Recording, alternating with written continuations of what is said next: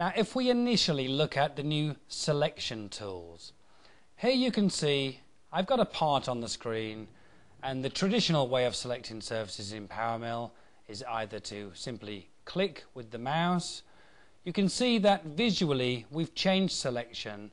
In the past we used to draw yellow wireframe lines. Now we highlight the surfaces in a brighter shading colour so that we can clearly see which surfaces have been selected when the part is shaded.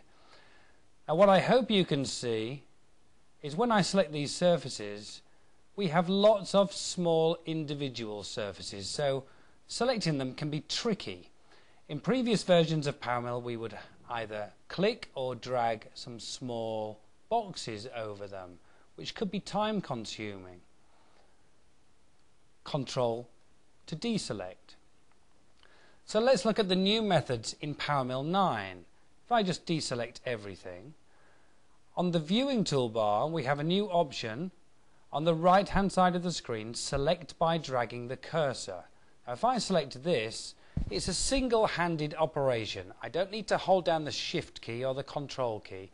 I simply put the cursor on the start of selection, hold down the mouse key and drag it along the surfaces. So selecting chains of individual surfaces like this is really made much faster and easier. Similarly, if I just drag the cursor over here, I simply select those two fillets which happen to be made up of large numbers of surfaces. So selection is made really much more simple than it was in PowerMill 8 and before. If we now come to the changes we've made to the block, let me just switch off that for a moment and I'm going to raise the block form. And if I draw the block, you can see that I've calculated the block to the exact extent of the part. Now in PowerMill 8, on the block form, we had the Xmin and Xmax, Ymin, Ymax, Zmin, Zmax. What we did not have in PowerMill 8 were, was the actual lengths. We didn't know the length in X, Y or Z. A user had to calculate them. So if we were to tell the man on the shop floor, you know, the size to cut the piece of steel, this was prone to user error because we would have to look at the min and the max and to calculate the difference between them. Now there is a length field for both x, y and z. So the actual size of the stock to be cut is obvious. We can also change these values directly. If I just view from above, and currently the X length is 200 millimeters. I'm just going to change that to 250.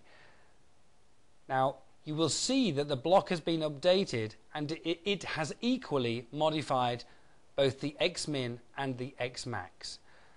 It would be the same procedure to change the Y size of the stock.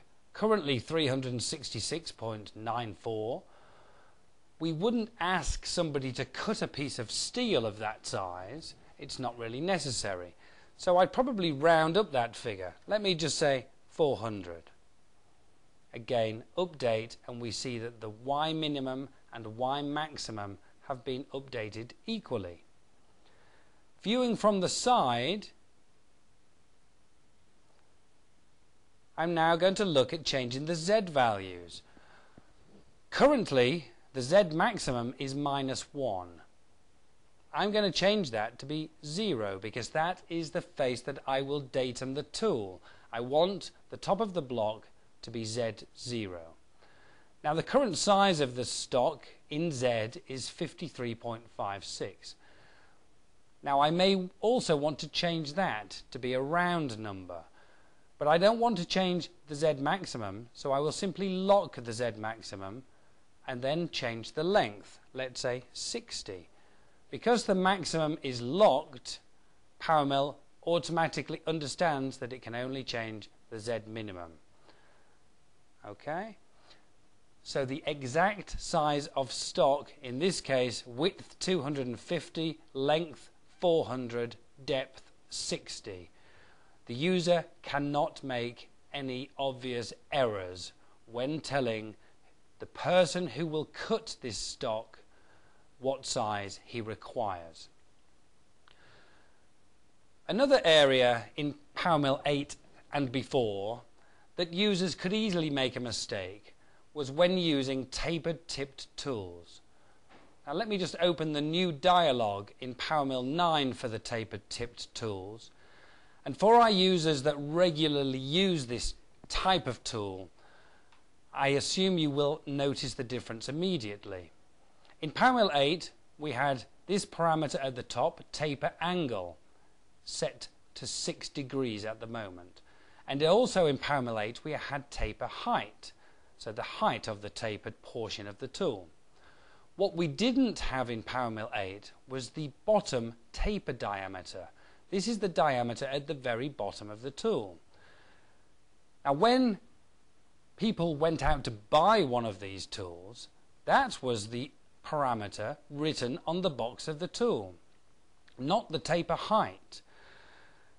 So in PowerMill 8, the user had to do a little bit of mental trigonometry, and of course, this could easily use uh, it, it could easily lead to error.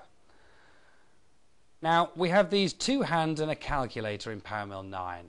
What this basically means is from the three parameters, the user may enter any two of the three, and the third one will be calculated automatically, the one with the calculator icon. We can move this icon to any one of the three simply by clicking it. Now typically in the real world it is the taper height that we do not know. We typically do know the taper angle and we typically do know the taper diameter. So I'm going to change the taper diameter here to 6 millimeters and you will notice that the taper height has updated automatically. So this dramatically reduces um, the potential for a user calculating the wrong taper height and therefore potentially ruining his part.